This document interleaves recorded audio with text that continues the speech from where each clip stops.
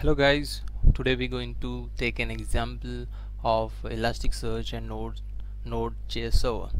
So you know we are going to build a node server which will act as the middle layer for Elasticsearch server.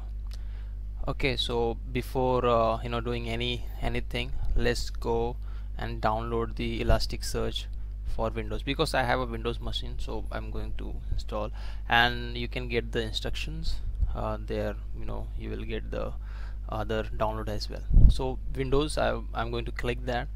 So I have already that. So I'll just cancel this download. I'll go back to uh, my my command prompt. There uh, you know I have extracted my zip folder here.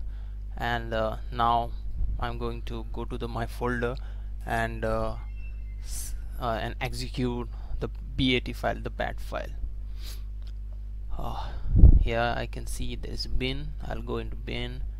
Uh, ls no wrong. So yeah.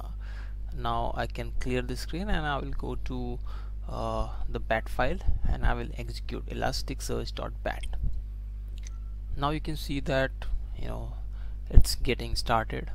So it it just gives the notification. It requires Java.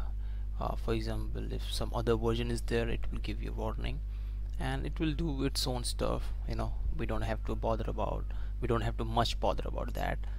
Uh, so yeah. Uh, it's getting uh, run. Okay now what we have to do we have to just curl. This is the command you know the curl get on 9 9200 it will run on the 9200 if you get this response then it's up and running. Okay let's go to you know Google and then search about uh, like there is a file called accounts.json this is we will use for the bulk import. Uh, this is that file. I'll give you the um, you know how to do the bulk import. I'll give you the you know link. Uh, here let's talk about you know building an express server. So uh, we have to do npm ion express core cors body parser elasticsearch and then after that we will require those things into our index file. That is I'll, I'll call that servers.js then you can basically have uh, multiple uh, routes based on your requirement. So I'm main focused on uh, like search index type. Here I'm passing index and type as my route. And then uh, I'll take any you know search criteria search phrase as a query string so the next file is is under the search engine folder. I have created that. And now this is my method phrase search. So I'm searching on the phrase. So I'm I will be using like multi-match right? And the type will be like phrase prefix. And the things which is getting passed as uh, search text that will be in the query.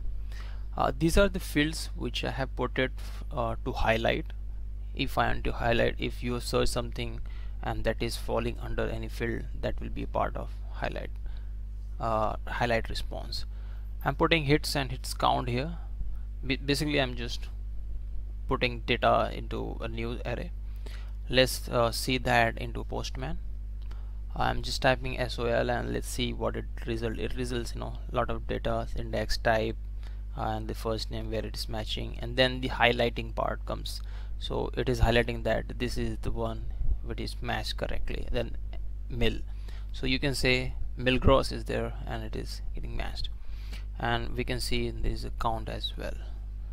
So if I type something abstract number you will see that there is no count and hits will be blank. So you guys try out that. Thank you